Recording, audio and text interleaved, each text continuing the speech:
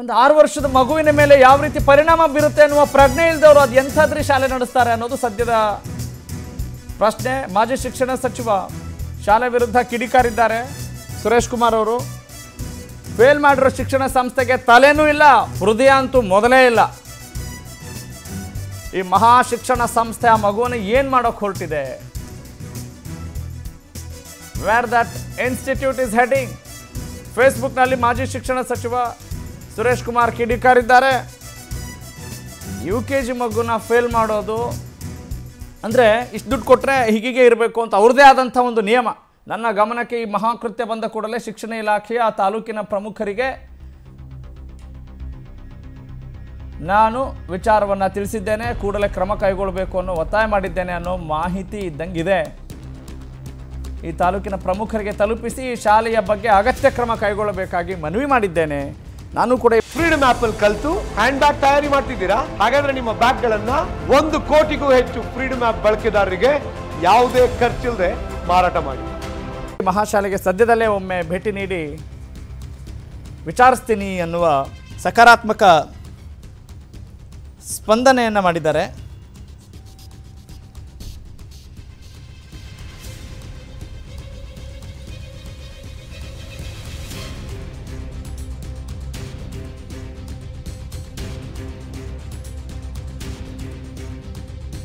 ಯಾವ ಮಟ್ಟಿಗೆ ಇರಬಹುದು ಅನ್ನೋದನ್ನ ನಾವಿಲ್ಲಿ ಗಮನಿಸ್ಬೋದಾಗಿದೆ ಅಂದರೆ ಇಷ್ಟೆಲ್ಲ ದೊಡ್ಡ ಶಿಕ್ಷಣ ವ್ಯವಸ್ಥೆ ಇದ್ದರೂ ಕೂಡ, ಸರ್ಕಾರ ಇದ್ದರೂ ಕೂಡ, ಇವ್ರಿಗೆಲ್ಲ ಯಾರಿಗೆ ಹೇಳೋರು ಯಾರಿಗೆ ಕೇಳೋರು ಅನ್ನುವ ಪ್ರಶ್ನೆ ಇಲ್ಲಿ ಜಟಿಲವಾಗಿದೆ.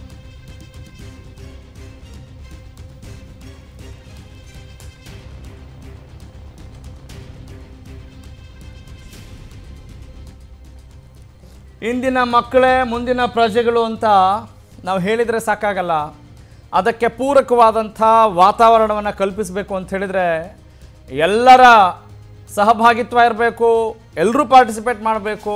ಯಾಕಂತ ಹೇಳಿದರೆ ಒಂದು ಮಗು ಅಂದರೆ ಅದು ಆರು ವರ್ಷದ ಮಗು ಅಂತ ಹೇಳಿದರೆ ಆಗ ತಾನೇ ಒಂದು ಶೇಷಾವಸ್ಥೆಯಿಂದ ಬಾಲ್ಯಾವಸ್ಥೆಗೆ ಕಾಲಿಡುವಂಥ ಸಮಯ ಅಂಥದ್ರಲ್ಲಿ ಹೇಗ್ರಿ ನೋಡ್ಕೊಳ್ಬೇಕು? ವೆರಿ ಸ್ಯಾಡ್ ವೆರಿ ಬ್ಯಾಡ್ ಅಂದರೆ ನಾವು ಏನು ಮಾಡಲಿಕ್ಕೆ ಹೊರಟಿದ್ದೀವಿ? ನಮ್ಮ ಜೀವನದ ಗುರಿ ಏನು ಅನ್ನೋದನ್ನೇ ಮರ್ತು ಬಿಟ್ಟಿದ್ದೀವಿ ಅನ್ನೋದಕ್ಕೆ ಇದೊಂದು ಜ್ವಲಂತ ಉದಾಹರಣೆ. ಹಾಗಾಗಿ ಶಾಲೆಗೆ ಕಳಿಸಿದ್ರೆ ಎಲ್ಲ ಉದ್ಧಾರ ಆಗಿಬಿಡ್ತಾರೆ ಮಕ್ಕಳು.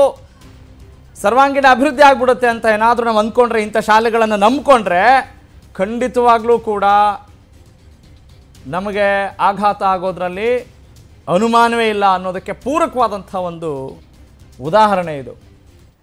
ಈ ಬಗ್ಗೆ ಮತ್ತಷ್ಟು ಮಾಹಿತಿ ನೀಡ್ತಾರೆ ನನ್ನ ಸಹೋದ್ಯೋಗಿ, ನಮ್ಮ metro bureau correspondent Swathi Pulganti.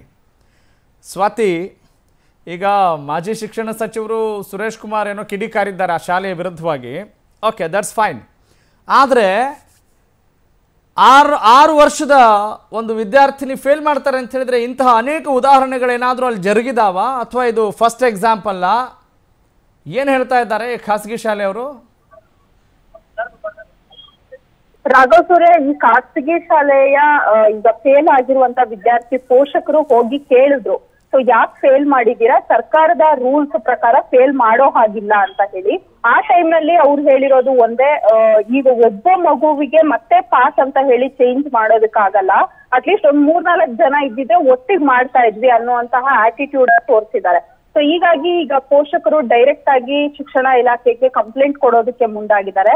ಮತ್ತೊಂದು ಇಲ್ಲಿ ಗಮನಿಸಬೇಕು ಈ ಹಿಂದೆ, ಅಂದ್ರೆ ಟೂ ತೌಸಂಡ್ ಟ್ವೆಂಟಿ ಟೂ ಹಿಂದೆ ಎನ್ ಇ ಪಿ ಜಾರಿ ಆಗೋದಕ್ಕೂ ಮುಂಚೆ ಸೆವೆಂತ್ ಸ್ಟ್ಯಾಂಡರ್ಡ್ ವರ್ಗೂ ಕೂಡ ಮಕ್ಕಳನ್ನ ಫೇಲ್ ಮಾಡೋ ಆಗಿರ್ಲಿಲ್ಲ.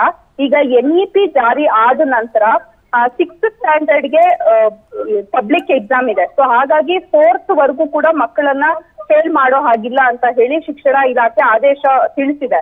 ಆದ್ರೂ ಕೂಡ ಈಗ ಫೇಲ್ ಮಾಡಿರೋದು ಒಂಥರ ಎಲ್ಲೋ ಖಾಸಗಿ ಶಾಲೆಗಳು ಯಾವ ರೂಲ್ಸ್ ಅನ್ನ ಕೂಡ ಸರ್ಕಾರದ್ದು ಪಾಲನೆ ಮಾಡೋದಿಲ್ಲ ಅಂತ ಹೇಳಿ ಇಲ್ಲಿ ಮತ್ತೆ ಮತ್ತೆ ಪ್ರೂವ್ ಆಗ್ತಾ ಇದೆ.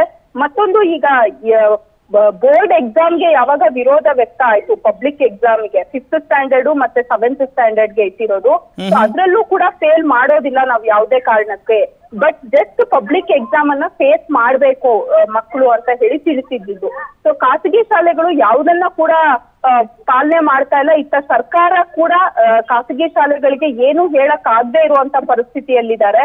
ಸೊ ಒಂದೊಂದು ಅಲ್ಲಿನ ಬಿಇಒಗಳು, ಡಿಡಿಪಿಐಗಳು ಇಂತಹ ಖಾಸಗಿ ಶಾಲೆಗಳನ್ನ ಗುರುತಿಸಿ ಅವುಗಳ ವಿರುದ್ಧ ಕ್ರಮ ಕೈಗೊಂಡಾಗ ಮಾತ್ರ ಇಂತಹ ಪ್ರಕರಣಗಳು ಕಡಿಮೆ ಆಗ್ತಾ ಬರುತ್ತೆ ರಾಘಸೂರ್ಯ ನಿಜ, ಆದ್ರೆ ಎಲ್ಲೋ ವ್ಯವಸ್ಥೆಯನ್ನೇ ನಾವು ದೂರಬೇಕಾಗಿದೆ. ಅಂದರೆ ಹೀಗೆ ಮಾಡಿದಾರ? ಇಂಥ ಶಾಲೆಯವ್ರ ಮೇಲೆ ಕಟ್ಟುನಿಟ್ಟಿನ ಕ್ರಮ ಕೈಗೊಂಡು ಬಿಡ್ತೀವಿ ಪೋಷಕರಿಗಾಗ್ಲಿ ಅಥವಾ ಇದನ್ನ ನೋಡ್ತಾ ಇರುವಂತಹ ವೀಕ್ಷಕರಿಗಾಗ್ಲಿ ಒಂದು ವಿಶ್ವಾಸ ಹುಟ್ಟಕ್ ಸಾಧ್ಯ ಅಂತ ಅನ್ಸುತ್ತಾ at this point of time Swathi? ಖಂಡಿತ ರಾಘವ್ ಸೂರ್ಯ, ಸದ್ಯ ಈಗ ಶಿಕ್ಷಣ ಇಲಾಖೆ ಅವ್ರಿಗೆ ಒಂದು ಬ್ಲಾಕ್ ಲಿಸ್ಟ್ಗೆ ಹಾಕುವಂತಹ ಒಂದು ರೈಟ್ ಕೂಡ ಇರುತ್ತೆ. ಜೊತೆಗೆ ಶಿಕ್ಷಣ ಇಲಾಖೆ ಆದೇಶ ಅಡಿ ಕೆಲವೊಂದಷ್ಟು ಕಾನೂನು ಕ್ರಮಗಳನ್ನ ಕೂಡ ತೆಗೆದುಕೊಳ್ಬಹುದು ಯಾಕಂದ್ರೆ ಯು ಕೆ ಜಿ ಓದ್ತಾ ಇರುವಂತಹ ಮಗುವನ್ನ ಅಷ್ಟ ಇನ್ನೇನು ಫಸ್ಟ್ ಸ್ಟ್ಯಾಂಡರ್ಡ್ಗೆ ಹೆಜ್ಜೆ ಇಡುವಂತಹ ಮಗುವನ್ನೇ ಫೇಲ್ ಮಾಡ್ಬಿಟ್ರೆ ನೆಕ್ಸ್ಟ್ ಅವರ್ ಅವರ ಶೈಕ್ಷಣಿಕ ವರ್ಷ ಅಥವಾ ಅವರ ಕೆರಿಯರ್ ತುಂಬಾ ಹಾಳಾಗುತ್ತೆ. ಅದು ಮಾನಸಿಕವಾಗಿ ಅವ್ರನ್ನ ಕುಗ್ಗಿಸ್ಬಿಡುತ್ತೆ. ಸೊ ಒಂದಷ್ಟು ಸೈಕ್ರಿಯಾಸಿಸ್ಟ್ ಆರ್ಟಿಸ್ಟ್ ಅವರು ಅಥವಾ ಸೈಕಾಲಜಿಸ್ಟ್ ಹೇಳೋದೇನು ಅಂತಂದ್ರೆ ಅವ್ರನ್ನ ಆ ಏಜ್ ಆಫ್ ಟೈಮ್ ಅಲ್ಲಿ ಅವ್ರನ್ನ ಉರಿದಿಂಬಿಸ್ಬೇಕು ಅಂದ್ರೆ ಅವ್ರನ್ನ ಎನ್ಕರೇಜ್ ಮಾಡ್ಬೇಕು. ಆದ್ರೆ ಇಂತಹ ಕೆಲಸಗಳು ಆ ಶಾಲೆಯಿಂದಲೇ. ಆಗಿಲ್ಲ. ಸೊ ಹೀಗಾಗಿ ಎವ್ರಿ ಟೀಚರ್ ಕೂಡ ನಿಮ್ ಕೈಯಲ್ಲಿ ಆಗುತ್ತೆ ಅಂತ ಹೇಳಿ ಉರಿದುಂಬಿಸ್ತಾ ಹೋದಾಗ ಮಾತ್ರ. ಅವರು ನೆಕ್ಸ್ಟ್ ಒಳ್ಳೆ ವಿದ್ಯಾರ್ಥಿ ಆಗೋದಕ್ಕೆ ಕಾರಣ ಆಗುತ್ತೆ. ಎಲ್ಲರ ಕರ್ತವ್ಯ. ನಾವೆಲ್ಲರೂ ಕೂಡ ಪ್ರಯತ್ನ ಪಡಬೇಕಾಗಿದೆ. ಅಂದ್ರೆ ಒಂದು ಸಾಂಘಿಕ ಹೋರಾಟದ ಒಂದು ಅವಶ್ಯಕತೆ ಇದೆ ಅಂತ ಈ ಸುದ್ದಿ ಹೇಳುತ್ತೆ ಅಂತ ನಾನು ಭಾವಿಸ್ತೇನೆ. Thank you Swathi. ಧನ್ಯವಾದ ತಮ್ಮೆಲ್ಲ ಮಾಹಿತಿಗೆ. ಫ್ರೀಡಮ್ ಆಪ್ ಕಲ್ತು ಹ್ಯಾಂಡ್ ಬ್ಯಾಗ್ ತಯಾರಿ ಮಾಡ್ತಿದ್ದೀರಾ? ಹಾಗಾದ್ರೆ ನಿಮ್ಮ ಬ್ಯಾಗ್ ಗಳನ್ನ ಒಂದು ಕೋಟಿಗೂ ಹೆಚ್ಚು ಫ್ರೀಡಮ್ ಆಪ್ ಬಳಕೆದಾರರಿಗೆ ಯಾವುದೇ ಖರ್ಚಿಲ್ಲದೆ ಮಾರಾಟ ಮಾಡಿ.